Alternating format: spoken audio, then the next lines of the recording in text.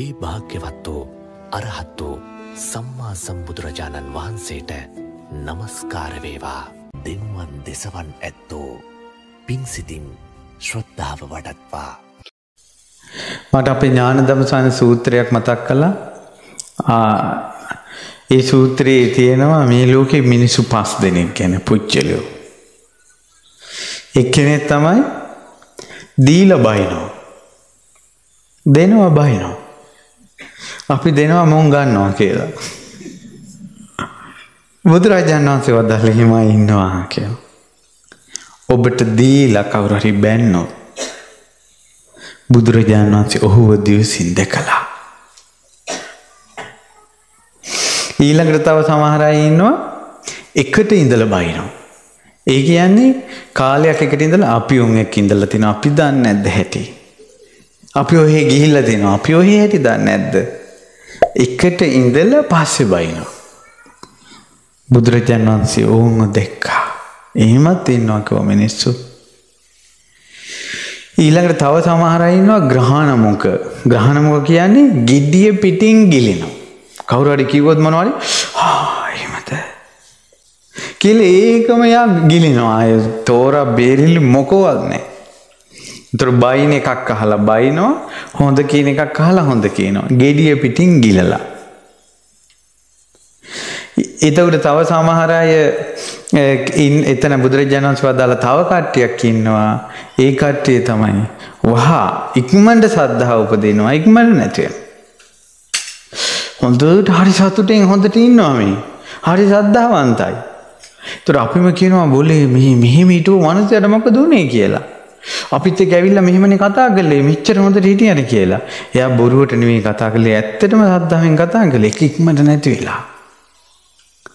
උපන් සද්ධාව කුසලේ යහපත ඉක්මට නැති වෙනවා. එහෙම මිනිස්සුත් ඉන්න. සව සමහර මිනිස්සු ඉන්නවා කුසල් අකුසල් පින් පව් මොනෝවක් ගානක් නෑ ඔය ඉන්නවා. ඔය යන්නකො පොලකට මිනිස්සු පොලකට බඩු ගන්න පොල එලවලු පොලට කියට පස මිනිසුන් ොත්තන සසරක් ගානක් තියෙනවාද නෑ බුදුරජාන් වන්සේ වදල්ල මිනිසින්නවා. ටවුන් එකට ගිල්ල පොඩ්ඩ බලයින්නකො මිනිසුන්ට සසර කියල හැඟීමත් තිනවද කියලා මිනිස්සුහෙ ඉන්නවා. මේ ෆිල්ම් බලබලා ඉන්නවා මේ ළමා ලපටි ෆෝන් ඔබ බයින්නවා සංසාරයක් කියල එකක් හිතේති නොද කියල බලන්නකො ඔහේ ඉන්නවා. සස්සරක් ගැන අල්ප මාතර හැඟීමන්නේ. මැරිලා උපදිනවා කියලා අල්ප මාතර හැඟීමන්නේ. එහෙම මිනිස්සුත් ඉන්නවා. ඔය පස් දෙනා ඔබට මුණ ගැසේවී. ඔබට මුණ ගැසේවී පස් දෙනා. දීල බයිනාය. එදාට මාගේ ශාස්තෘන් වහන්සේ සරණ යන්න බුදුරජාණන් වහන්සේ සම්මා සම්බුද්ධයි කියලා. බුදුරජාණන් වහන්සේ අවබෝධ කළා දීල බහින ඉන්නවා කියලා. එදාට දීල බයින කෙනා දිහා බලන් එපා දීල බයිනයි ලෝක ඉන්නවා කියලා. සත්‍යය දේශනා කරපු බුදුරජාණන් වහන්සට පහදින්න සම්මා සම්බුද්ධෝ වතසෝ භගවා. භාග්‍යතුන් වහන්සේ සම්මා සම්බුද්ධයි. දීල බයිනයි ලෝක ඉන්නවා. ඒ ගොඩාක් ඉන්නවා. හිටපු ආවේ භාග්‍යතුන් වහන්සේ වදාලාන එහෙම ඉන්නවා කියලා. ඒ බුද්ධ වචන වෙනස් වෙන්නේ නේ. තව ඉන්නවා එකට ඉඳලා බයින. යාළුවෝ විදිහට හිටියා එක ගෙදර බත් කෑවා. එකට ඉඳලා බයිනවා. එදාට පහදින්න බුදුරජාණන් වහන්සේට එකට ඉඳලා බනින මේ සමාජයක් පුජ්‍යලියෝ ලෝකෙ ඉන්නවා කියලා බුදුරජාණන් වහන්සේ වදාලා. එතකොට අර එකට ඉඳලා බයින කෙනාගේ පැත්ත දිහා බලන්න එපා. ඒ සත්‍ය දේශනා කරපු බුදුරජාණන් වහන්සේ සම්මා සම්බුද්ධයි කියලා දකින්න. හිත පුදුම විදිහට සැනසෙන්න ගන්නවා. අර පුජ්‍යලිය අපිට වෙනස් කරන්න බෑ පින්වත්නි. බුදුරජාණන් වහන්සේ වදාළේ මේ පුජ්‍යලිය වෙනස් කරන්න කියලාද? ඒ පුජ්‍යලිය අවබෝධ කරන්න කියලාද? අවබෝධ කරන්න. තව සමහරිනවා ග්‍රහණ මොක. මේ මොන හරි කියලාමක් කියන අහනවා ඔහෙට කවුද කිව්වේ අහවලා. ඒ අහවලා කියපු දේ ඇත්ත නැද්ද කියලා ඔහෙ දන්නවද දන්නේ නැහැ කියනවා. එහෙනම් කිව්වේ කියපු නිසා කිව්වා කියනවා. ඔයගේ හම්බෙලා නැද්ද? ඕක හරියට මේ වගේ මේ දරුවෝ දැන් ළමා අපිට මේ ඉන්න ගොඩාක් අය ඉන්ටර්නෙට් එක පාවිච්චි කරනවානේ. ඒතර කවුරු හරි බැන්නොත් ඔක්කොම බයිනවා. කවුරු හරි හොඳයි කිව්වොත් ඔක්කොම හොඳයි කියනවා.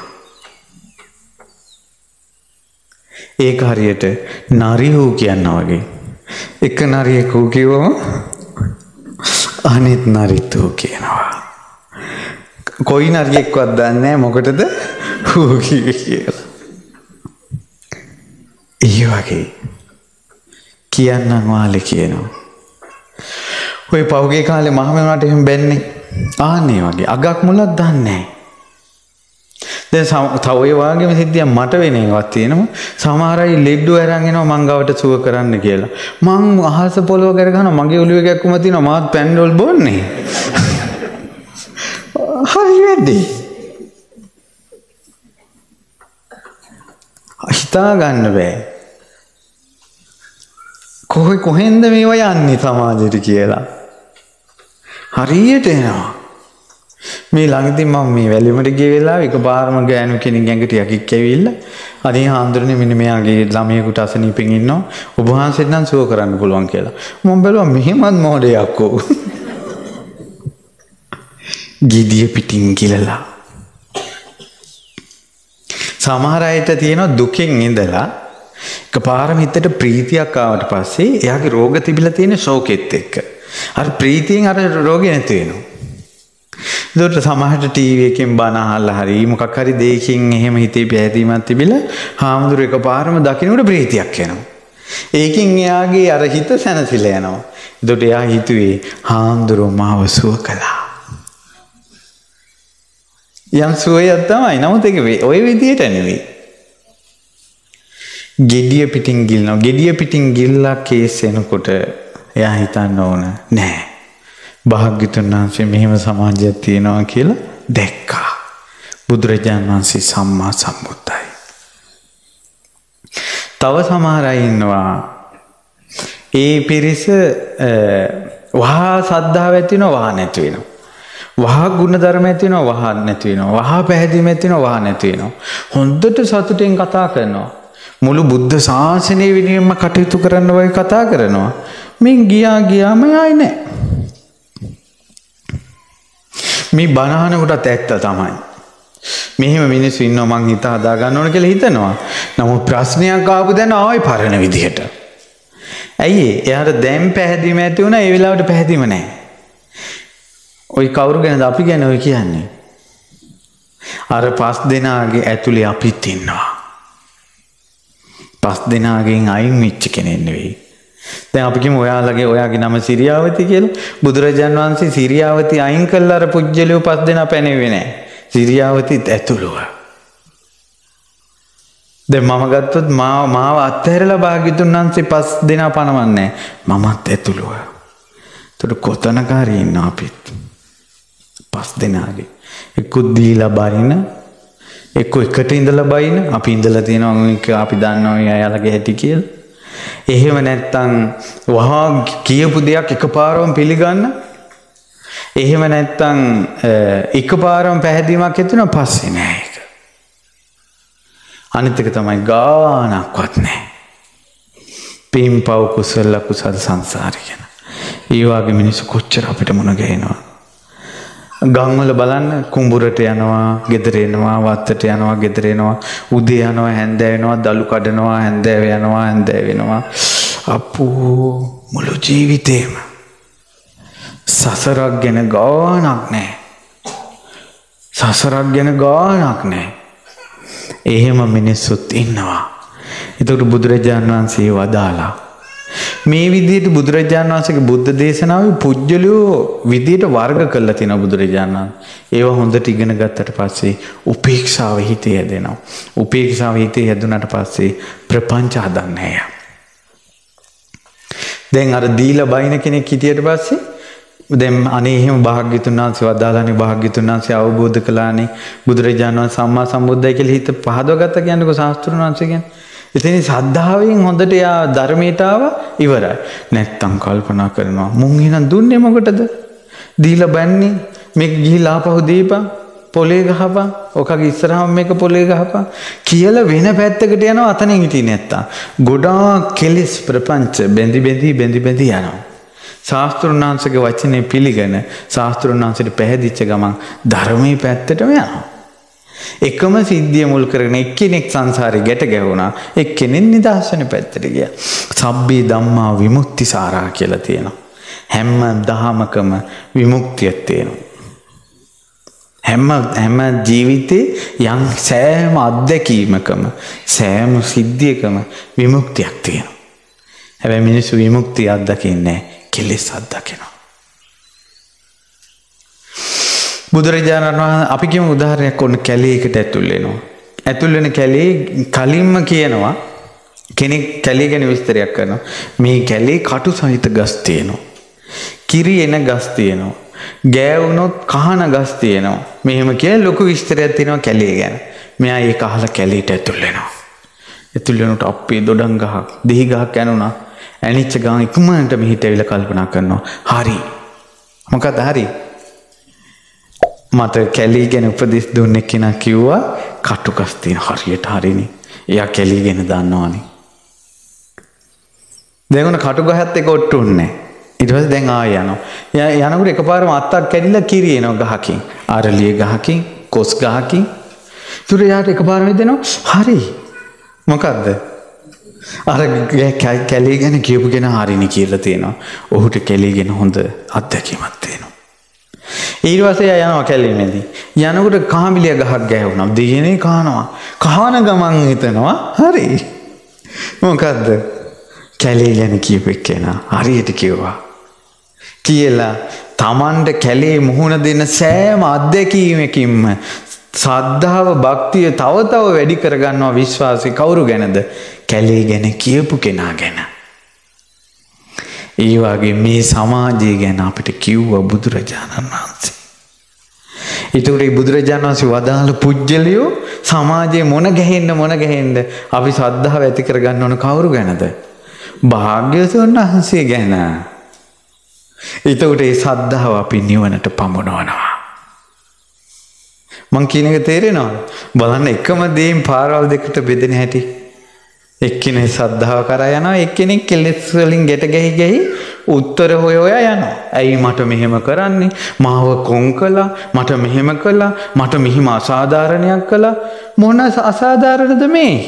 සංසාරේ කොයිතරම් අසාධාරණ අපිට වුණාද? අපිට බුදුවරු අහිමි වුණා. අපිට සමහර අපි සත්‍යවාදී වෙලා, අපි ඇත්තේ ඉඳලා බොරු වලට අපිව පටලවිලා අපේ බිලි කැපුණා. දැන් පොලිමට ගෙනේන ගවයෝ ඉන්නව මරන්න. සාධාරණ අසාධාරණ බව ඔවුන්ගේ ජීවිතත් එක්ක කවුරු කතා කරනවද? කුකුලන්ගේ ජීවිතත් එක්ක කවුරු හරි කතා කරගන්න කතා කරනවද? මාළු දැලට අහු කරනකොට ඔවුන්ගේ ජීවිත ගැන ඔවුන්ගේ සාධාරණ අසාධාරණ බව කවුරු කතා කරනවද? ඒ වගේ දැල් වලට පටලැවිලා අපි කඩු තෝමර කිනිසිවලට ජීවිතයේ බිලි දුන්න අපි. එච්චර අසාධාරණකම් වලට ලක් වෙලා මනුස්ස ලෝකයේ බුද්ධ ශාසනයේ තියෙන කාලෙක චූටි මොහොතකට ඉපදිලා ඒකේ ධර්මයෙන් පිහිට ගන්න නැතුන් පරණේ වගේ කෝන්තර හොයෝ ඉන්නවා බලන්න මේ කෙලෙස් සහිත හිත කැතයි. මේ කෙලෙස් සහිත හිත අපිව නොමග යවනවා.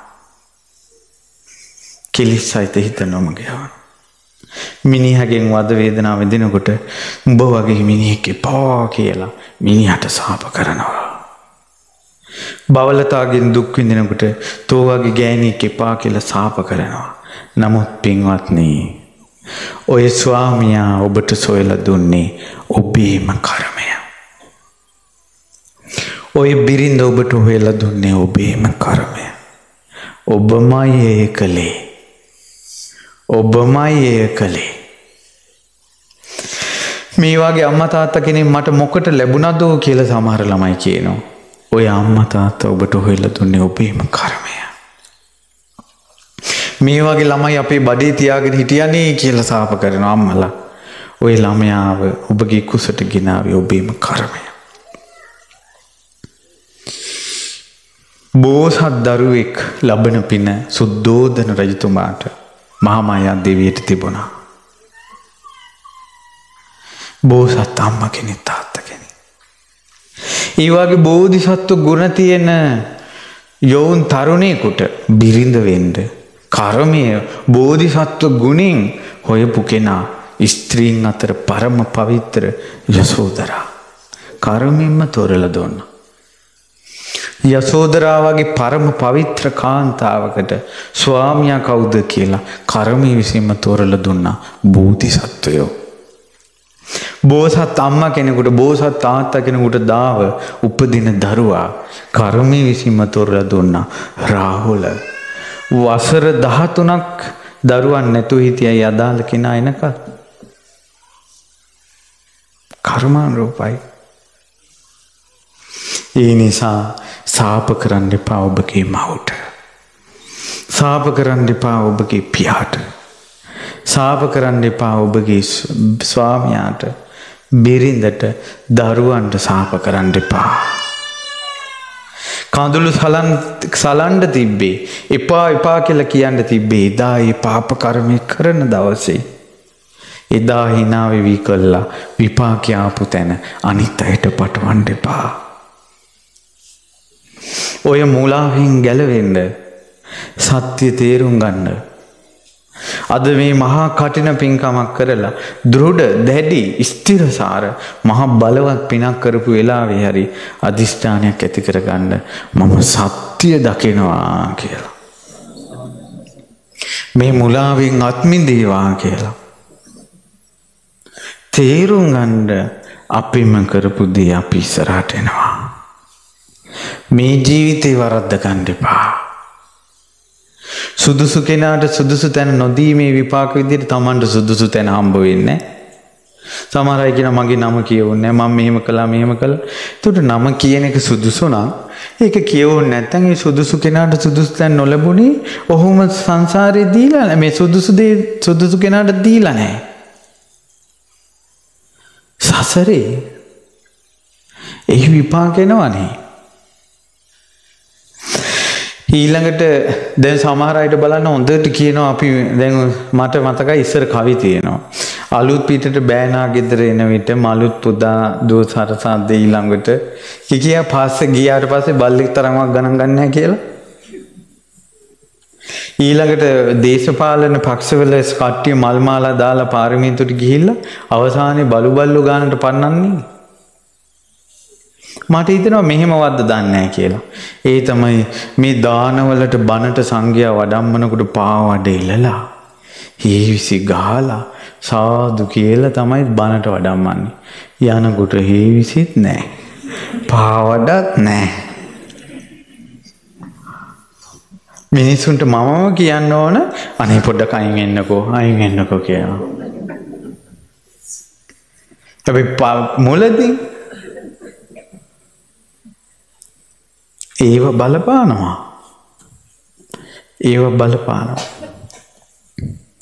අපි තැනකට සම්භාවනය විදිහට ගිහිල්ලා එතනින් සම්භාවනය විදිහට එන්න බැරි වෙන්න හේතුව අපි පින් කරද්දිත් ආරම්භයේ සම්භාවනය කරනවා අවසානයේ සම්භාවනය නෑ.